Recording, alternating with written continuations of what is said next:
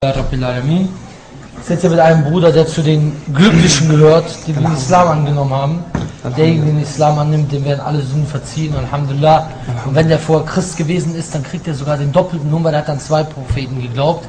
Alhamdulillah. Äh, Bruder, wie ist dein Name? Dawood. Dawud jetzt. Und äh, was warst du, wie alt bist du, wann bist du zum Islam gekommen und was warst du vorher? Mein Name ist Dawood, wie gesagt, ich bin 21 Jahre alt. Das ist jetzt mein zweiter Ramadan, Alhamdulillah. Und an dem ersten Tag des letzten Ramadans bin ich Alhamdulillah Muslim geworden. Und ich war vorher katholischer Christ. Ich komme äh, aus Portugal, beziehungsweise aus Deutschland, bin halb Deutscher, halb Portugiese. Und Alhamdulillah Muslim. Und inshallah meine Familie auch. Alhamdulillah. Alhamdulillah.